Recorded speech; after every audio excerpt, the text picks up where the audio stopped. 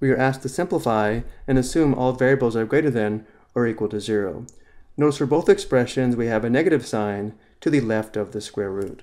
Let's first look at the example below on how to simplify negative square root 16 or the opposite of the square root of 16.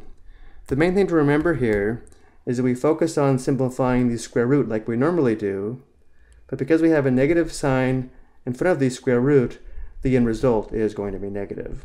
So focusing on the square root of 16, to simplify, we are looking for a non-negative number times itself, or a non-negative number squared equal to 16.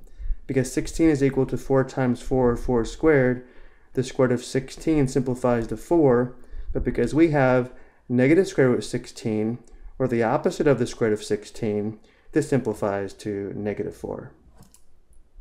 Going back to our problem, we first have the opposite of the square root of 81m squared, or negative square root 81m squared.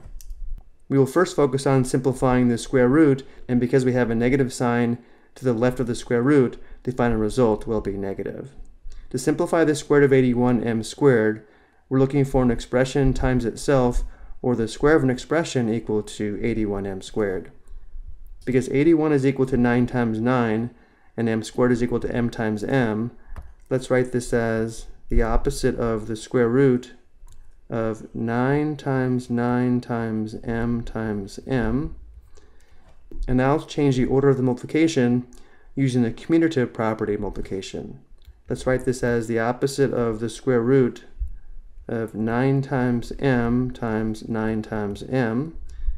And because 9 times m is equal to 9m, this is equal to the opposite of the square root of the square of 9m and because the square of 9m, or because 9m times 9m is equal to 81m squared, the square root simplifies to one factor of 9m, but because of the negative, this simplifies to negative 9m. Remember, in this form, we can also think of the square root undoing the squaring, giving us one factor of 9m, giving us one factor of 9m, and then the result is negative because of the negative sign here.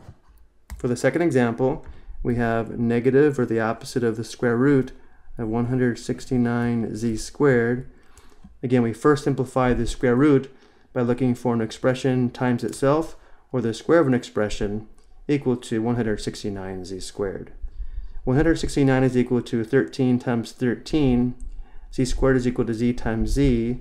Let's write this as the opposite of the square root of 13 times 13 times z times z. And now let's change the order of the multiplication and write this as the opposite of the square root of 13 times z, which is 13z, times 13 times z. Now that we have it in this form, we can write this as the opposite of the square root of the square of 13z, because 13z times 13z, or the square of 13z is equal to 169z squared, the square root simplifies to 1 factor of 13z, but because we have the negative sign here, the final result is negative 13z.